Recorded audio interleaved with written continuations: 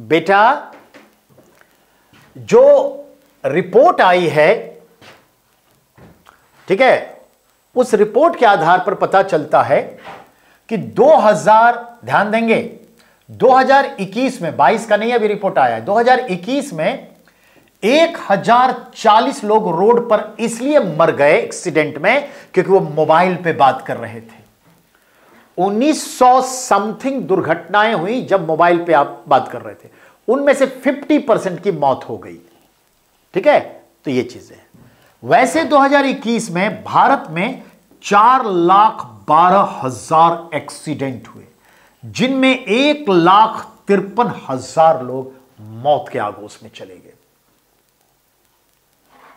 कल भी दिल्ली की जो एक घटना है, इसमें तो हमने नहीं दिया है नए साल में मुरथल गए थे चार दोस्त मिडिल क्लास के विजय अवंतिका के पास के, अपना किसी के कार मांग करके चले गए। और चारों एंजॉय किए, शराब पिए, और क्या मुरथल मुरथल में भीड़ था तो वापस आ रहे थे।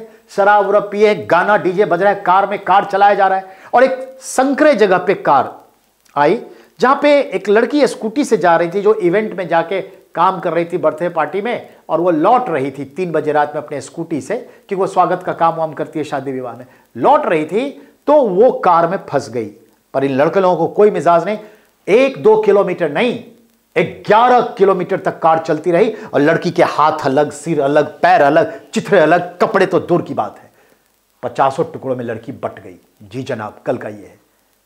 ऐसे ये युवा किस संस्कार में पले बढ़े हैं, सोचनीय है। पाल कंचन कंचन पाल। गुड मॉर्निंग बेटा। Ujjwal Dhaka, good morning. आप सबका स्वागत है। तो ये ध्यान में रखिएगा।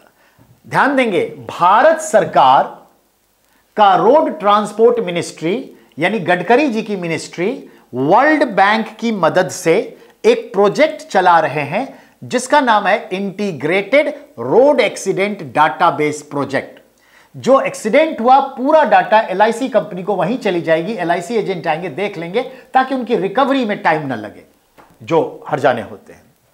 और इतने एक्सीडेंट में चार लाख बारह हज़ार में पैंतीस परसेंट, यानी डेढ़ लाख एक्सीडेंट सिर्फ़ तमिलनाडु, मध्य प्रदेश और उत्तर प्रदेश में हुआ है। माय गॉड एमपी तमिलनाडु और उत्तर प्रदेश में ही डेढ़ लाख एक्सीडेंट हुए